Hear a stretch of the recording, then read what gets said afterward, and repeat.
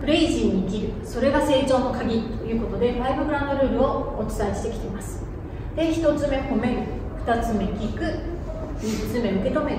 そして今日は4つ目ですね。4つ目。待つということなんです。でこの待つっていうのはどんなことだと思いますか？でこの待つっていうのはこれもですねあああるあるって思うと思うんですね。例えば打ち合わせの席とか、まあ、会議であるとか、まあ、1対1でお客さんのところに伺っている時とかもそうかもしれません。こう相手がですね急にうーんっていうふうに考え込む、えー、そうですねとかって言って、まあ、遠くを見たりとかですね。目を視線をそらして遠くを見たりもう目をつぶってしまったり腕を組んで考え込んだりっていうシーンって誰でも経験したことがあると思います。でその時に多くの人がもう人のことはよくわかるんですよね。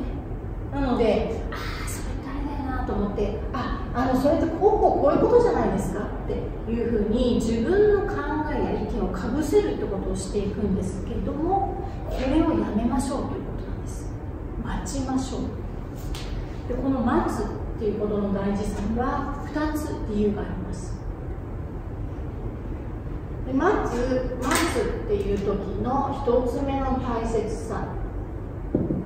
このこの人ですね。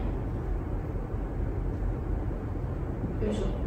うーん。ってなってる時。意識の矢印はどこを向いてると思いますか？この「うーん」って言ってる時の意識の矢印。この人の意識の矢印は自分の脳みそを見に行っています。なんて言ったら伝わるかなとかね。あれってどこに書いてあったっけとか。あの人なんて言ってたかなとかっていうふうに自分の意識の矢印は自分の脳を見に行ってるわけです。でこの意識の矢印が自分に向かっている時にあなたがどんなにいいことに気づいてここにそれってこうじゃないですかって放り込んでもこの矢印は決して交わることありませんね。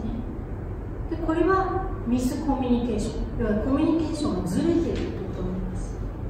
でそうするとこの人は急にもしかしたらですよあなたはこの人の頭の中って見えないじゃないですか。ああそうだそうだそうだああそうそうなんかあもうちょっとでいいこと思いつきそうってなってる瞬間かもしれないわけです。それをあなたのこの矢印が遮るってこと可能性としてあるんです。でそうするとお互いストレスになります。でもし遮らなかったとしてもあ意識がこっちに向いてる時にこっちに切り替えなきゃいけないのでえあ何ですか？ってなります。そうするともう今いいこと言ったのに何回も言えないよって言って今度はこっちもストレスになります。お互いストレスなんです。ねでこの意識の矢印っていうのは交わるってことがとても大事なんです。そのために待ちましょうということですね。でそれはどういうことかというとうーんって考えている時に散々考えてですよ。ああちょっとあなんか思い出せませんと。なんかうまいこと言えなくてすいませんってなった瞬間は矢印があなたに戻ってきてます。意識の矢印が。そしたらば初めてあちょっと気づいたことあるのでいいんですかって言って自分が考えたことを言えばいいわけですね。でこれで初めてセットになるんです。セットになるからああそういうことだったんですよってなったりとかああそうじゃないですよねっていうふうにこのセットの掛け算これが会話が生まれている現場ということなんですね掛け算の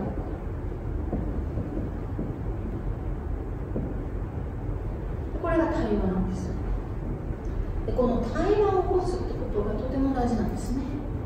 でこの対話が起きるから自分の意見が発展したり自分自身だけではなくて他の人の考えが混ざり合えたりするわけです。でその掛け算が起こるには前提として意識の矢印がセットになっているってことなんですね。なのでこの意識の矢印をセットにするためにまず待ちましょう。これが1つ目の待つっていうことの大事さです。